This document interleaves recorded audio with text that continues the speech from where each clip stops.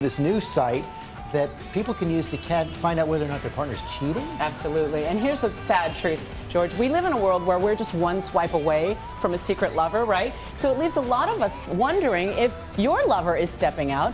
If you think breaking into their phone is beneath you, and one could argue it should be, then this app will help scour Tinder information that's publicly available and help you trust but verify. Jenny Day is still reeling from the day she says she found out her boyfriend was cheating on her. I questioned the whole relationship and it was very heartbreaking. The cheating, she says, can be traced back not to a specific person, but to a dating app, Tinder. I found so many messages between him and other girls. And even though there wasn't any sexual intercourse involved, I do feel like that is a sign of cheating just because you're looking for something better. In Jenny's case, she says she learned of her boyfriend's wandering eyes and Tinder fingers from a girlfriend who spotted his profile. But now there's a newer, faster way.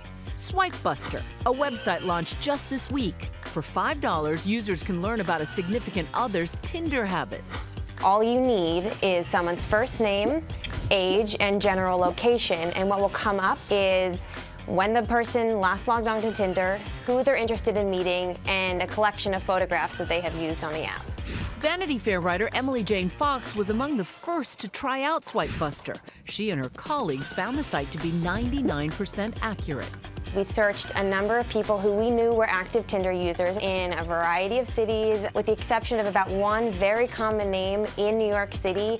Every single person you're looking for turned up.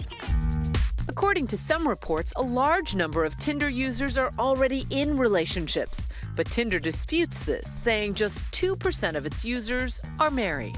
As for its response to Swipe Buster, Tinder says the new website is simply tapping into and consolidating public information that Tinder's own website makes clear is already available to fellow Tinder users, adding no private user information is being made public.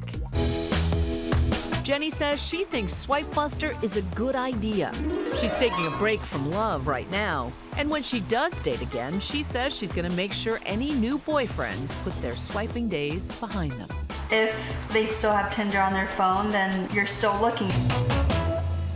Now, interestingly enough, the founder of SwipeBuster wants to remain anonymous. We asked him questions through Vanity Fair. He says the response to SwipeBusters is explosive and that people are thanking him left and right. But he says the main goal wasn't to bust cheaters, but to alert the public that Tinder information and the internet in general may not be as private as you think. that was George. just the, bu the, the, bu the bus was a bonus. Okay. Exactly. Thank you, Juju.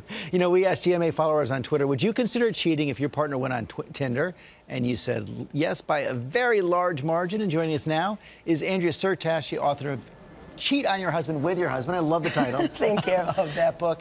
And you just saw that most of our viewers would think it's cheating, even if you just go to the site, never follow through. I agree with them. It's definitely crossing a line.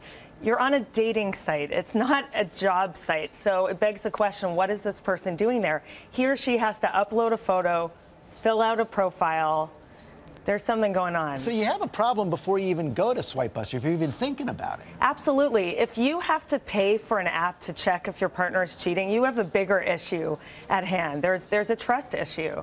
So you think, how do you confront that then? What, what, what is the best way to go about it before you buy an app like this or go on a site like this? Well, before you buy the app, I think you need to check in with yourself and ask yourself, why do I think this? Why do I have this suspicion? Usually with e-cheating, there are a few clues. So if you're walking in and your partner's constantly closing every tab on the computer and being very Check, secretive right? yeah, about digital behavior, you may want to pay attention to that. That would make a lot of sense. And, and, and do you think, though, that the existence of a site like this may make people think twice?